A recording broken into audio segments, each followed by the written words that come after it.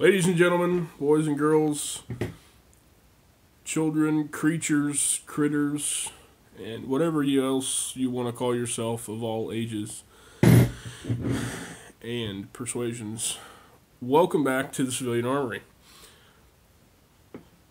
This is the fourth portion of our journey to the assembly of this rifle. Um, if you've been following along with us, you know that this is a Palmetto State Armory, uh, what they call an EPT kit. Um, it bears their 15 inch lightweight uh, handguard, so on and so forth. But where we're at in the series, we are still assembling the lower. Last time, we assembled our fire selector and our pistol grip. In this video, we're going to install the complete buffer tube assembly and its associated parts and our takedown pins because those things are kind of related. So, because those things are kind of related, we're going to start with takedown pins and associated takedown pin parts. Now, you can see that, and this is common with many companies. Many companies are doing this now. Um, Palmetto State Armory and all of their infinite wisdom has given us not one, not two, but three takedown pin springs. And that is because while the rifle requires two, and I say rifle because it's just a general term, um, really anything with a 16 inch barrel is really a carbine and not a rifle historically, but um, carbines are a type of rifle. So, um, the rifle takes two, they give us three, and that is because generally um, during the assembly of one, you'll generally shoot at least one of these guys across the room. And they're not very big, right? So they're hard to find. So a lot of companies give you three. Palmetto State Armory was wise enough and generous enough to give us three as well. So, what do you need for today?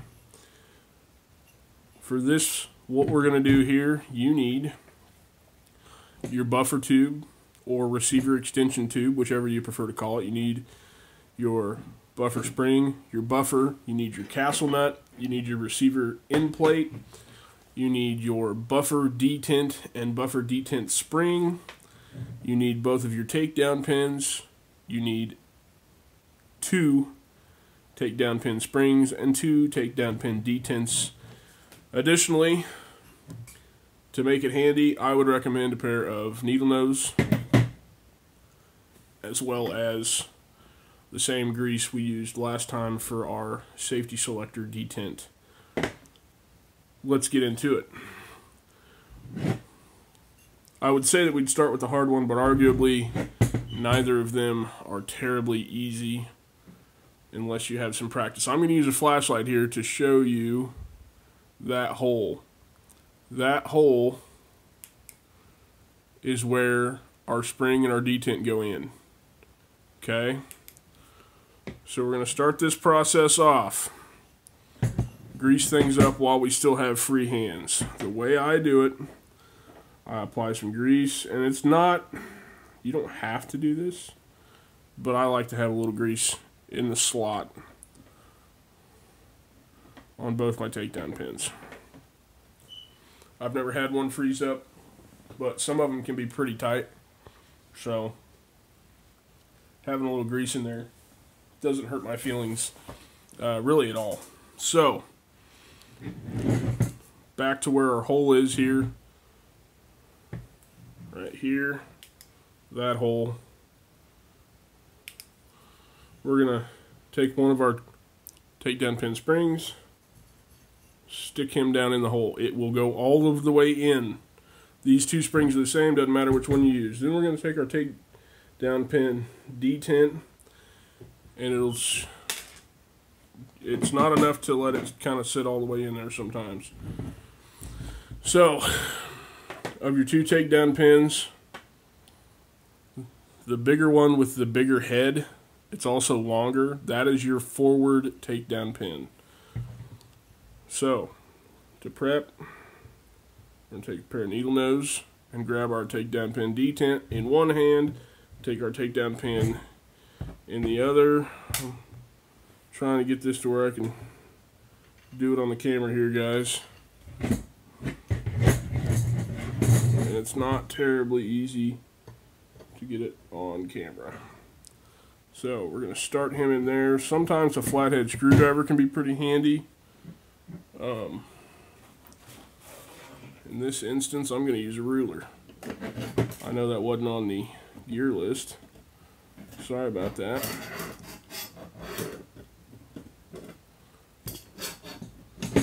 So I'm going to use a ruler to push that detent back in that hole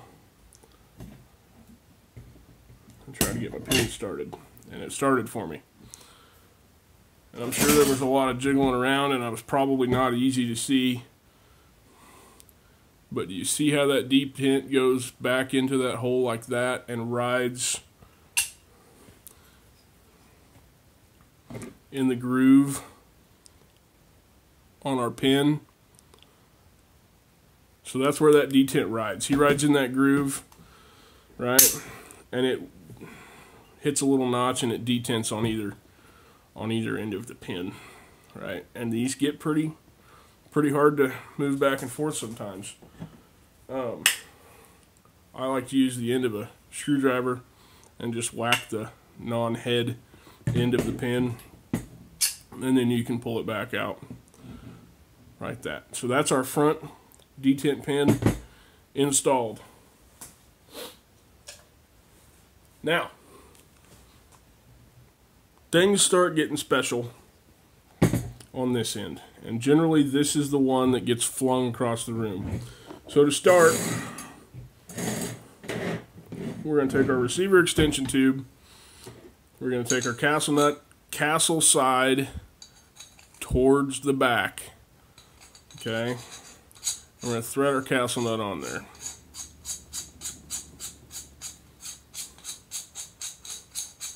I threaded on quite a ways.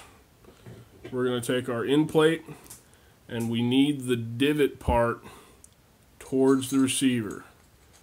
Okay? So that that's towards the back of the receiver. We're going to take this assembly and start screwing it in. Sometimes those threads feel awesome, and sometimes they don't. These threads feel pretty tight, which is not necessarily a good or a bad thing. So, as we come around, grab my little light here again. As we come around, you'll notice there is kind of a little stepped portion on your receiver extension tube.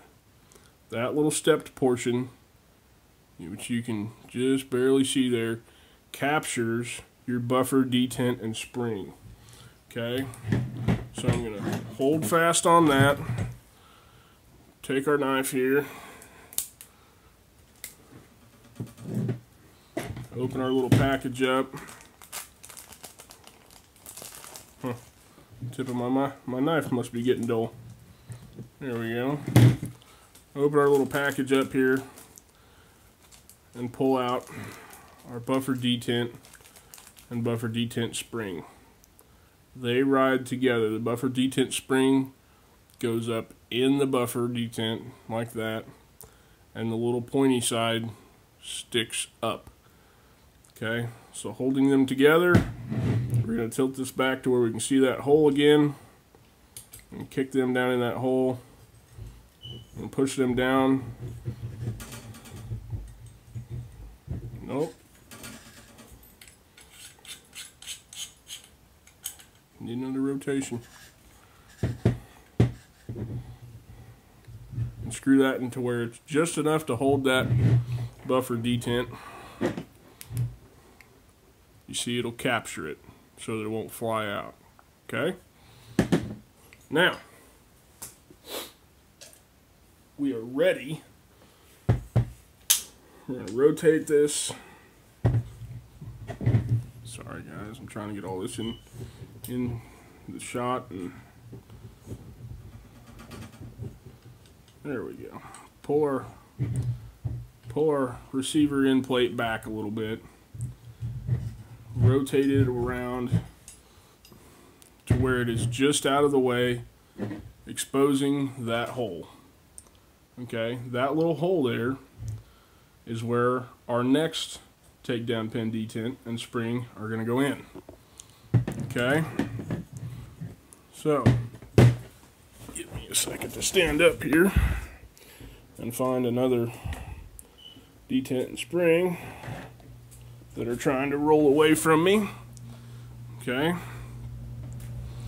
So we've already got the grease in the channel on our rear takedown pin.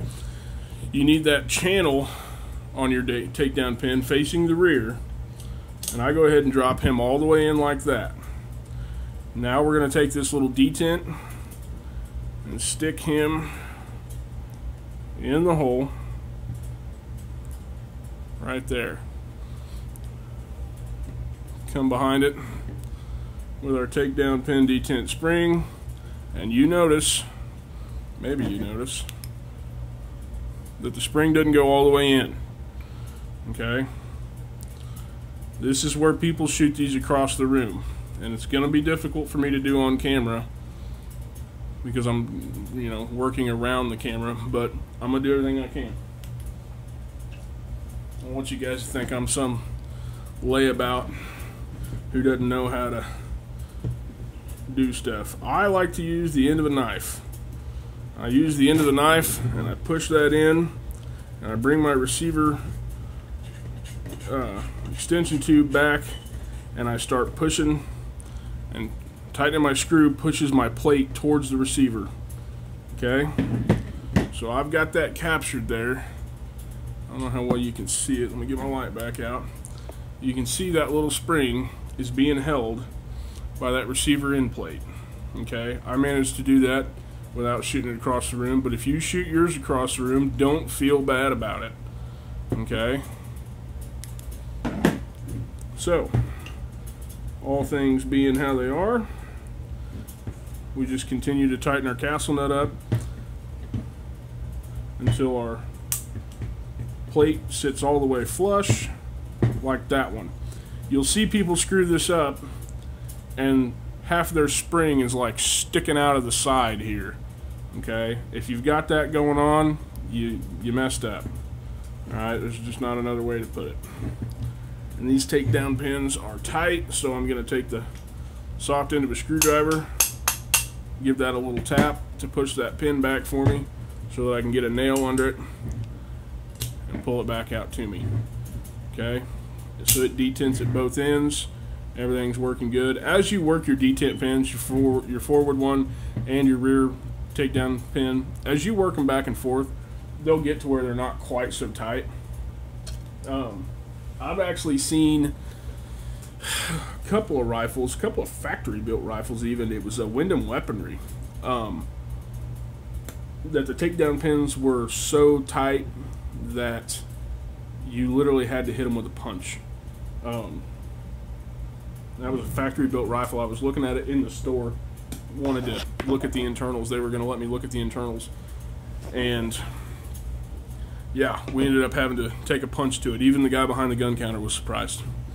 But either how, guys, that's how you install your forward and rear takedown pins with their associated detents and springs, as well as your receiver extension tube, your castle nut, your receiver end plate, and your buffer tube I'm sorry, your buffer retainer and buffer retainer spring.